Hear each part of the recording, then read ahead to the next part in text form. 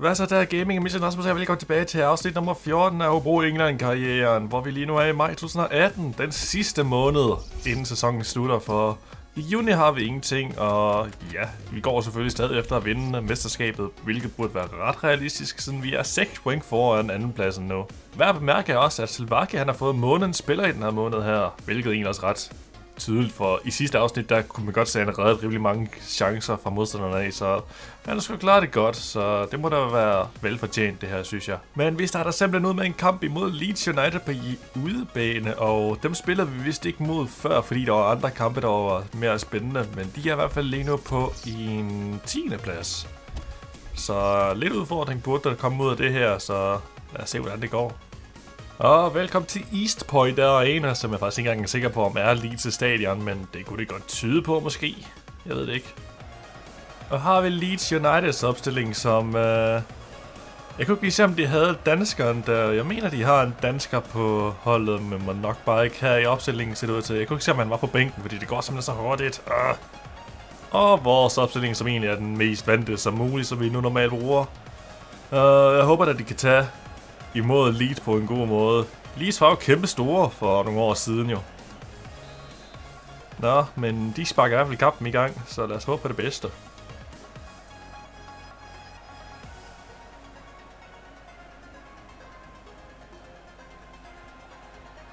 Sam Gill lige på målmand selvfølgelig. Uh.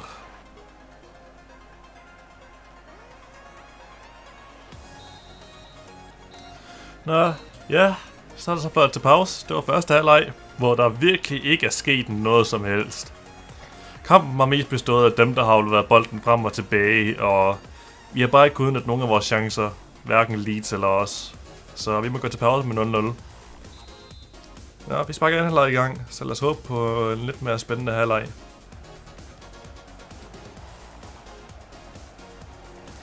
Og Risco! Og nettet som jeg beder om en bedre halvleg, mere spændende halvleg, så sker det der bare lige. Ej, hvor var det godt sat op det der. minut til Sam Gill, og så Rigsgaard, der løber igennem og sparer ikke om køle det. Et mist ikke lige på målmanden. Underligt det egentlig ikke var lige på målmanden, for det er bare sådan nogle skud der maler være. Så er det godt, at vi har Rigsgaard til at kunne omsætte den ind i mål. Ham er jeg sgu glad for ham, Rigsgaard der. Så det var altså hans 8. mål i den her sæson her. Og 1-0 efter 48 minutter at spille.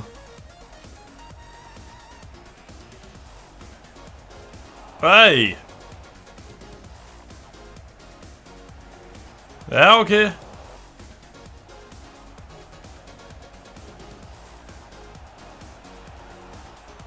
Ah, Og Traore lige på målmanden. Så kan vi kende spillet igen. Og til Rigsgaard igen, og Rigsgaard og slimer stolpen ind. Øj, endnu et godt opspil til ham. Som til ham. ja, men Rigsgaard kan man næsten altid regne med jo. Det var der var ret, der satte ham op. Og tog et godt løb der, og bang, lige med stolpen ind også. Sådan, men han er ved at blive bedre venner med stolpen nu, Rigsgaard derfor. Den har det med at ramme rimelig meget. en gang imellem jo. Og det var så Rigsgaards 9. mål den her sæson her. Og 2-0 efter 83 minutter spil. Øh, nej. Ja, okay. Bare giv ham plads.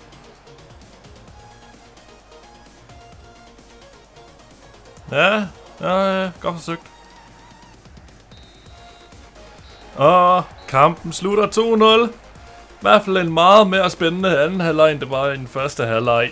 Men sådan nogle har man også en gang imellem jo, så vi egentlig har ret ofte. For vi var sige sådan lidt træls nogle gange. Men i hvert fald en sikker 2-0 sejr, og vi kommer tættere og tættere på guldet. Vi har ikke decideret vundet mesterskabet endnu, men hvis vi vinder næste kamp, så tror jeg, at guldet er ret sikkert. Det er det jo egentlig også, fordi så kan de ikke nå at indhente os Cardiff, som egentlig er tættest på jo. Så ingen sejr til i næste kamp, eller bare et point måske. er nok til at kunne øh, skaffe os mesterskabet. Og så er der en hjemmebanekamp imod Wigan Athletic, som så selvfølgelig skal spilles jo, fordi der er ikke de andre kampe, der er lige så spændende i den her, så, den her måned her, så ja, lad os da spille den. Og vi er endnu en gang samlet på DS Arena, hvor de i dag skal imod Wigan Athletic. Og Wigan er jo på en 21. plads, det glemte jeg vist at kigge efter før, men ja, de ligger helt dernede. Og her er vores opstilling, som er den fuldkommen samme, som vi havde i kampen mod Leeds United. Og Wigan Athletics opstilling.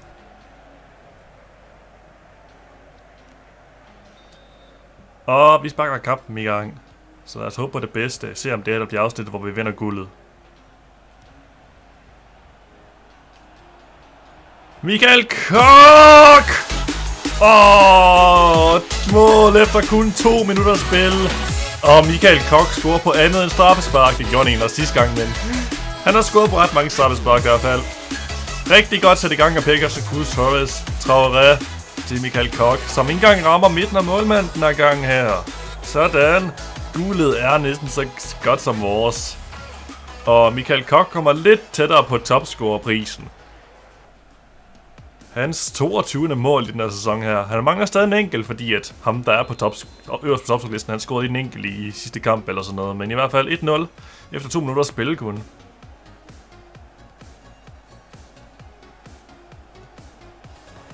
Ah, okay. Det skal der også være plads til det der.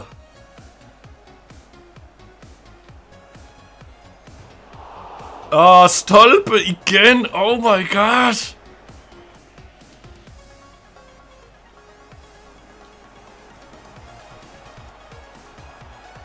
Og Michael Kok! Oh my god, det gik ind! Hvad sker der, Michael Kok? Så er han ved at være tæt på den topscore-pris. Rigtig godt løbet af Wright Phillips der, som udnytter sin hurtighed. Og jeg havde virkelig ikke forventet, at det var gået ind den der, men Michael Kok trodser alle odds. Det rimede næsten det der. holdt da helt op. Det rimede. Ah, nu rimede jeg videre. Oh my god. Det rimede ellers igen. Ah. Fuck, jeg er lam, jeg er. Men Michael Kok på 2-0 i hvert fald. Og guldet må være så godt som vores nu.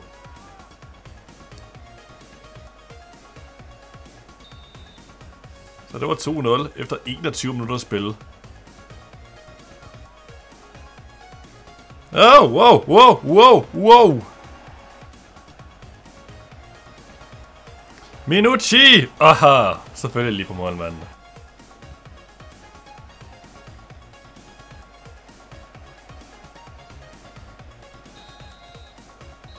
Ja, okay, hvis jeg havde skudt den der lidt tidligere sted, kunne det godt være, at vi har fået en god kontrachance der, men... Nå, i hvert fald, vi går til pause med 2-0. Begge mål af Michael Koch, som nu er på en delt førsteplads i topscorerlisten. Og anden halvleg sparkes i gang.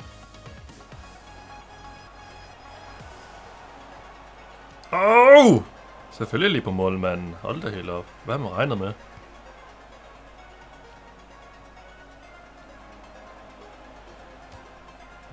Ja, okay.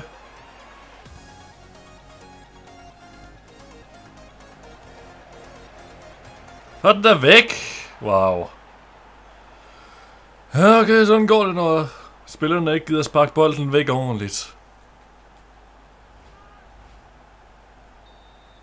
Så det var 2-1 efter 76 minutter. Åh!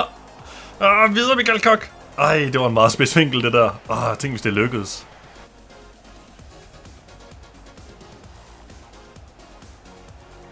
Åh, wow! Fantastisk redning! Hold da helt op.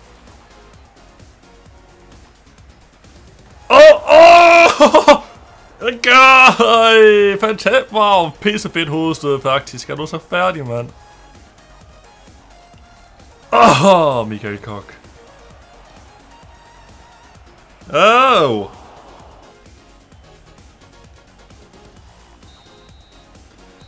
Og så kan man da vist godt sige, at det mesterskab er vores. Regner der i hvert fald med, hvis jeg kan finde ud af matematik i hvert fald.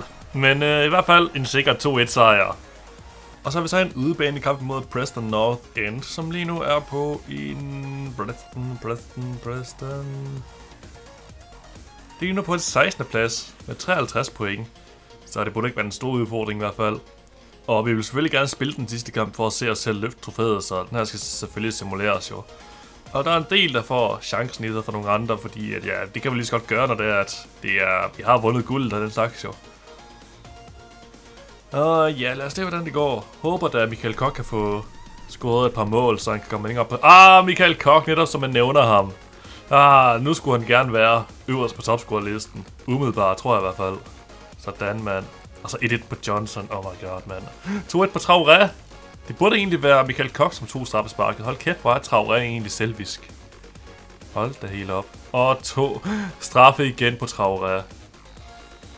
Michael Kok kunne få hat den her kamp, hvis ikke Traoré var så selvisk skal tage straffesparkene selv. Jeg mener da, det er Michael Kok, der, der er sat til at tage straffespark, så det er ret underligt det her. Men i hvert fald, en sikker 3-1 sejr der. Og så er det blevet tid til den aller sidste kamp i den her sæson her. Vores sidste kamp i Championship, inden vi rykker op til Premier League. Og ja, det eneste vi har at spille for i den her kamp er, det er Michael Kok, som skal blive topscorer. Han er lige nu side om side med Diouf med 24 mål, så vi skal have sparket nogle mål ind med Michael Kok.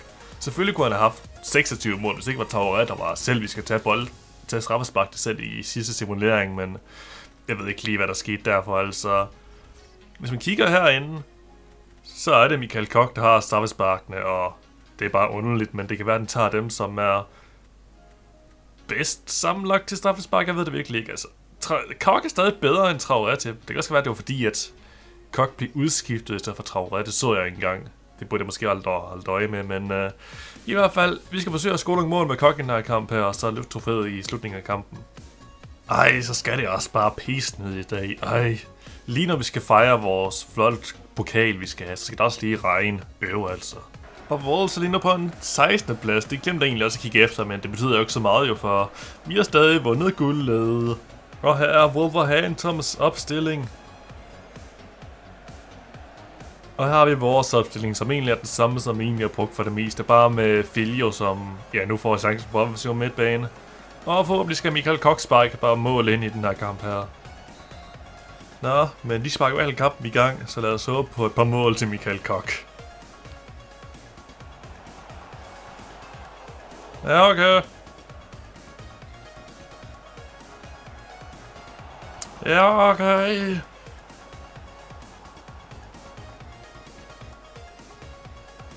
Ja, okay. 20 knægt. Den behøver vi ikke se igen, den der, så 1-0 til dem efter 11 minutter spil. Ja, okay, flot taget det der. Og Michael Kok. Ah, pareret af en forsvarsspiller.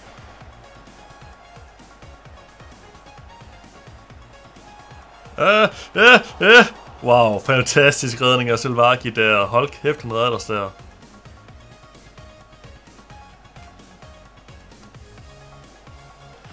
Og leverer der vilje. Wow. Dårligt reageret. Uh, Tim Gill. Uh, wow. Ja, offside, jeg vidste det. Jeg tænkte nok. Eller var det? Jeg synes, jeg hørte en fløjtelyd. Jeg synes, jeg hørte en fløjtelyd. Ja, okay. 1-1. Affilio, åbenbart. Jeg var altså ret sikker på, at jeg hørte en øh, fløjtelyd. Sådan bip, som der plejer at lyde, men... Okay, det ellers... Hvorfor skulle du offside på den der... Godt sat ind. Godt tæmmet af ham i hvert fald. Affilio. Sådan. 1-1. Åh, oh, ja, pinligste reaktion nogensinde. Og det var så Filius andet mål i den her sæson her. Så det var 1-1 efter 39 minutter spil.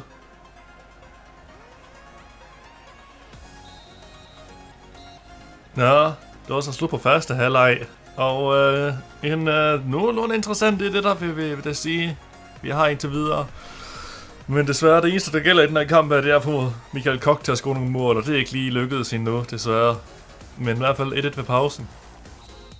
Og vi sparker anden halvleg i gang.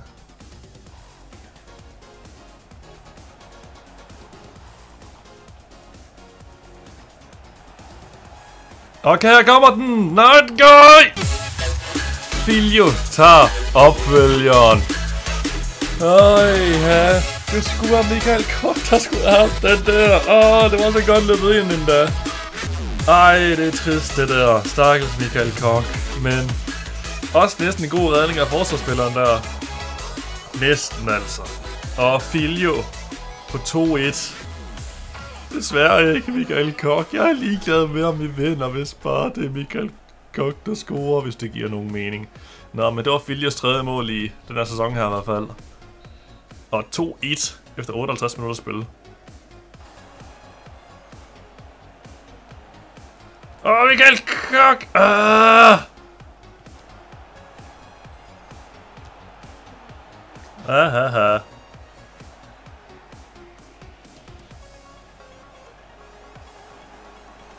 I Kok, du skal... vente!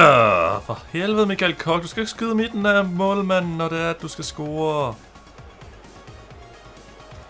Ah, så tæt på, Michael Kok. Ah! Ah, desværre. Det lykkedes ikke at hjælpe Michael Kok med at score, men ja, igen, i sidste ende er jeg sikker på, at Michael Koch han er fuldkommen ligeglad, så længe at, ja, holdet har vundet mesterskabet, som I jo så har. Og jeg har en dum fejl, gerne vil indrømme. Jeg kom til at sætte Minucci fuldkommen ud af truppen. Simone Minucci. I stedet for Brix Stamborg. Jeg indså først 20 minutter i kampen, at det egentlig var Brix Stamborg, der var på banen i stedet for Minucci. Og han var så desværre helt ud af truppen, så han kan desværre ikke fejre mesterskabet med os i dag.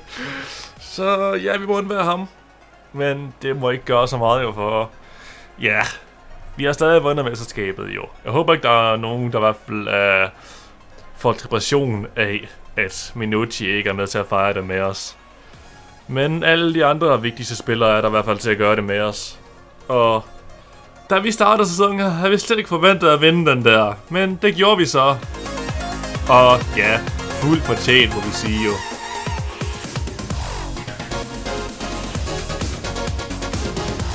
Fabelagtige billeder.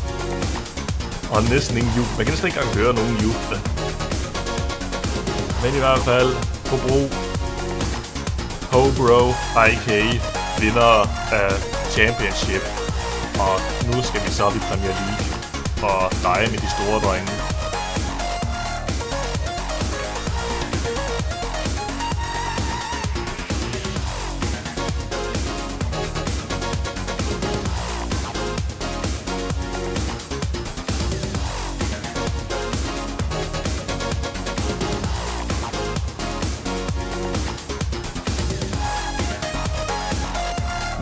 Knap nok se fyrværkerien. Det kan jeg i hvert fald. Uh -huh.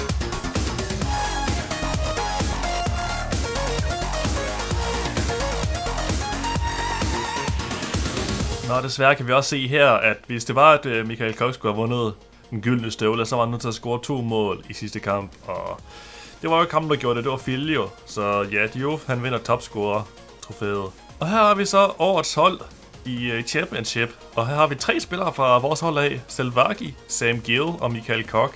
Jeg kan godt forstå Selvaki og Michael Koch, men Sam Gill kan jeg nok ikke helt forstå, fordi jeg må alt indrømme, at på det sidste har jeg virkelig ikke fået mig om at spille med ham, fordi han ikke, ikke, ikke har spillet særlig godt, og ikke rigtig har kunne få nogle afleveringer igennem og mistet mange bolde og den slags, men alligevel, han øh, er på over 12 åbenbart. Og turneringsspiller bliver så Garner fra Bristol North End, som jeg ikke lige forstår, men Okay. Men ja, det var også alt for den her gang her. Det var alt for den her sæson her også. Så hvis du kunne lide den her video, jeg håber, at du vil trykke like. Og øh, i næste afsnit må vi jo så ses i øh, Premier League. Det har været en meget spændende sæson, må vi jo sige. Vi havde kun til mål at nå midten af tabellen. Men vi overkommer simpelthen alle forventninger. Det var helt utroligt. Jeg havde ikke engang selv forventet, at vi ville faktisk vinde ligaen. I hvert fald forholdsvis så nemt, hvis man kan sige det. Men det gjorde vi så åbenbart. Og Jamen altså, det er en fantastisk trup, vi har, synes jeg. Det håber jeg også, I synes. Men uh, i hvert fald, næste gang var det rigtig godt, og vi ses i Premier League.